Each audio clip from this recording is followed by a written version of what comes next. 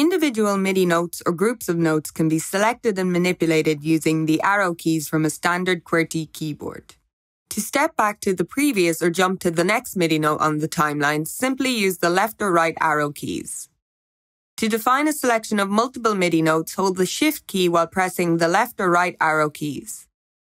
Use the up or down arrow keys to transpose a MIDI note by a single semitone. To transpose by octaves, hold the Shift key while pressing the up or down arrow keys for the selected notes. To adjust the velocity for the selected MIDI notes, hold down the Command key on Mac or the Control key on Windows to add or subtract by a value of 5. Include the Shift modifier to add or subtract velocity values in steps of 15. To copy a note while adjusting its pitch or time, simply hold down the Option key on Mac or the Alt key on Windows while pressing an arrow key. To quickly duplicate a note, for example, adding an octave above an existing note, simply hold down Shift plus Option on Mac or Shift plus Alt on Windows while pressing the up arrow.